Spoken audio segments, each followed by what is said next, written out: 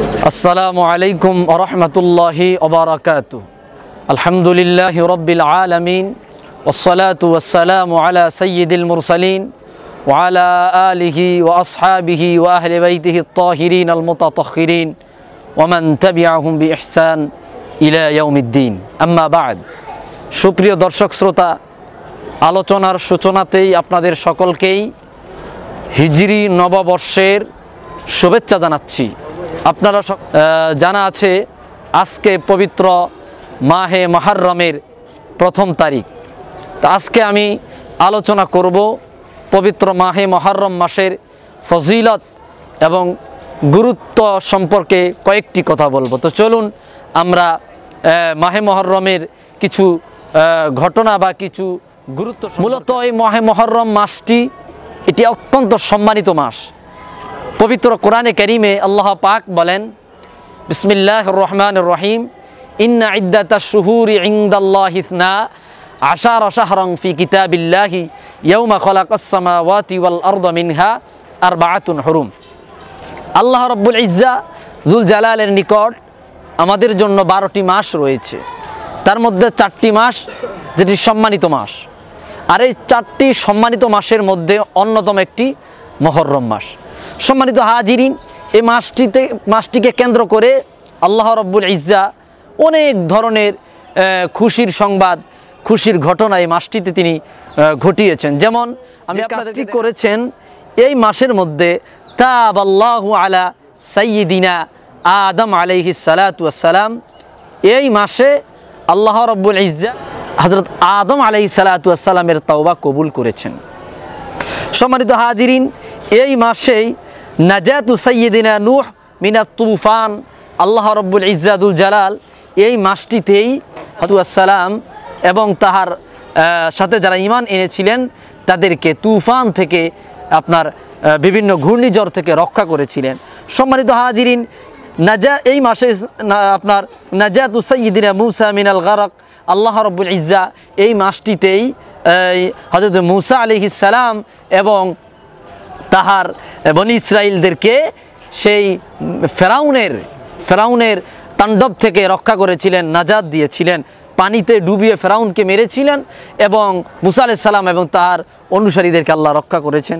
সর্বশী এই মাসটিতেই এমন একটি ঘটনা আল্লাহ রব্বুল ইজ্জা ঘটিয়েছেন যে ঘটনাটির কারণে তাম বিশ্বের সমস্ত মুসলমান আজও পর্যন্ত অশ্রুসিক্ত নয়ন এই মাসটি আসলে স্মরণ করে, সেটি হলো আপনার ইস্তেশাহাদুল ইমাম আল হুসাইন রদি আল্লাহ তালানহু এই মাসের মধ্যে হজরত সৈয়দুল ইমাম হুসাইন রদি আল্লাহ তালানহু কারবালার ময়দানে প্রচণ্ড ইয়াজিদ বাহিনীর হাতে নির্মমভাবে শাহাদাত বরণ করেছিলেন।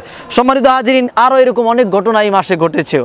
আমি আপনাদেরকে এই মাসের কিছু গুরুত্ব এবং এই মাসের ফজিলত সম্পর্কে আপনাদেরকে আমি বর্ণনা করি প্রথমে আমি একটি কিতাব দেখাচ্ছি, এই কিতাবটির নাম হচ্ছে কাঞ্জুল উম্মাল এই কিতাবের হাদিস নাম্বার হচ্ছে চব্বিশ হাজার দুইশত বাউন্ন নম্বর হাদিস এখানে দেখেন বলা হয়েছে ইন্না নুহান হাবাত মিনাস সাফিনাতি আলাল জুদি ইয়াউমা আশুরা ফাসামা নূহ ওয়া আমারা মান মাআহু বিসিয়ামি শুকরান লিল্লাহ।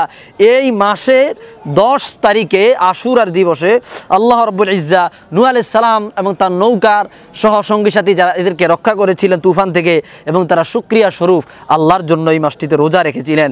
এবং কি হয়েছিল? তাব আল্লাহু তাআলা আলা আদম ও আলা আহলি মাদিনিহি আহ, ইউনুস। অর্থাৎ এই মাসের মধ্যে আল্লাহ রব্বুল ইজ্জাজুল জালাল আদম আলি সাল্লাতামের তাওবা কবুল করেছিলেন এবং এই মাসের মধ্যে কি হয়েছে? অফি ফুলিকাল বাহরুল বানী ইসরাইল এই মাসের মধ্যেই বনি ইসরাইল তথা মুসা আলাইসালাম এবং তাহার অনুসারীদেরকে আল্লাহ রব্বুল আলমিন ফ্রাউনের তাণ্ডব থেকে নাজাদ দিয়েছিলেন। অফি উলিদা ইব্রাহিম অফি হে উলিদা ইবনু মারিয়াম। এই মাসের মধ্যে ইব্রাহিম নবী জন্মগ্রহণ করেছিলেন। এই মাসের মধ্যে হজরতে ঈসা আলাইসাল্লাম জন্মগ্রহণ করেছিলেন। অর্থাৎ দশ তারিখে দশে মহরম। সম্মানিত হাজিরিন আরও অনেক কথা এই মাসের মধ্যে বর্ণিত আছে। এখন আমি আপনাদেরকে এই মাসের ফজিলত সম্পর্কে কয়েকটি সামনে একটি কিতাব দেখা যাচ্ছে এই কিতাবটির নাম হচ্ছে আল জামিউল কবির ইমাম তিরমিজি রহমতুল্লাহ আলহির লিখিত।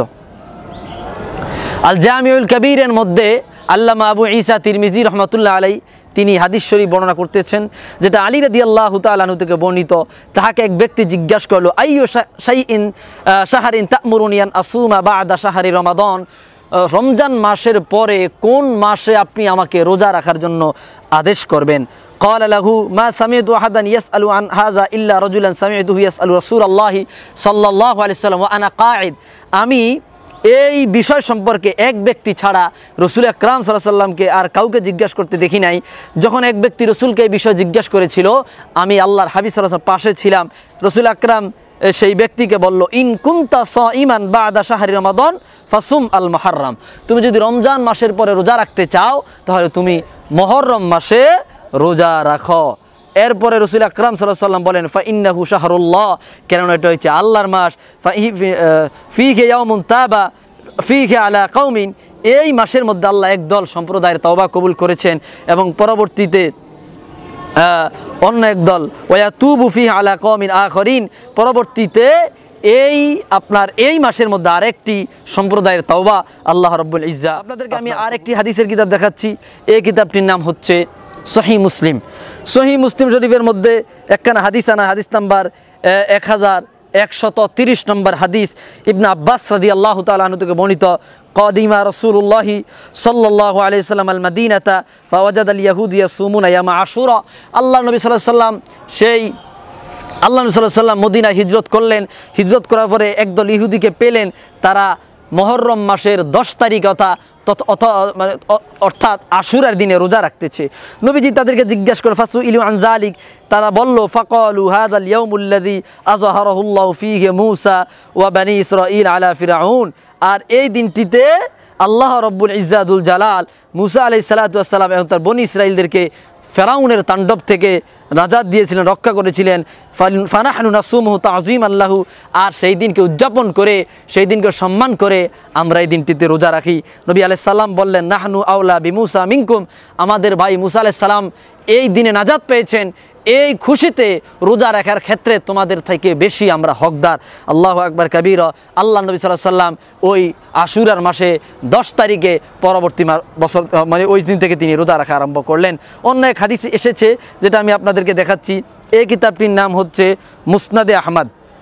মুসনাদে আহমাদের মধ্যে আপনারা দেখতে পাচ্ছেন চতুর্থ খণ্ডের হাদিস নাম্বার দুই হাজার একশত চুয়ান্ন নম্বর হাদিসের মধ্যে রসুল আকরাম বললেন, সুমু ইয়ামি আশুরা ও খালিফু ফিহিল ইয়াহুদ, সুমু কাবলাহু ইয়ৌমান আউ বাদাহু ইয়ৌমান তোমরা আশুরার দিনে রোজা রাখো এবং তোমরা ইহুদিদের খেলাফ করো। অর্থাৎ ইহু- ইহু- ইহুদিদের সাথে মিলিয়ে রেখো না। ইহুদিরা দশ তারিখে রাখতো, তোমরা হয় নয় তারিখ একটা এবং দশ তারিখ একটা অথবা দশ তারিখ একটি এবং এগারো তারিখ একটি। দুইটি রোজা তোমরা এই মাসের মধ্যে রাখো। তাহলে কি হবে?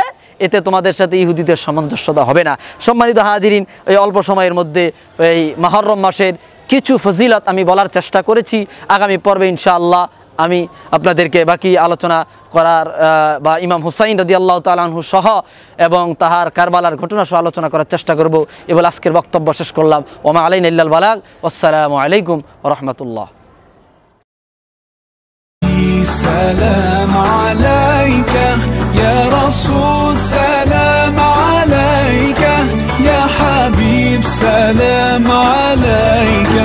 صلوات